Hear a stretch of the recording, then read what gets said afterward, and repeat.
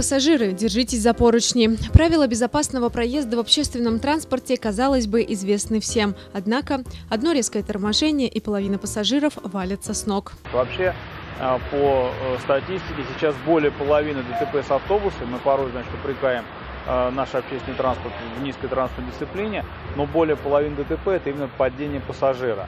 А, мы сосредотачиваем, как правило, свои усилия на водителях, на пешеходах, и забываем о том, что миллионы людей участвуют в дорожном движении именно качестве пассажиров, находясь в салонах автобусов, троллейбусов, трамваев и так далее. Казалось бы, ну разве сильный будет урон? Небольшой синяк, порванное пальто. Но ситуации бывают разные, и, возможно, крепко обхваченные поручни смогут и жизнь пассажиру спасти.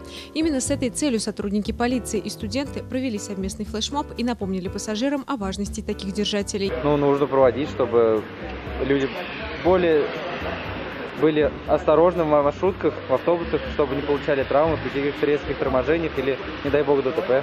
Пассажиры, крепче держись за поручни!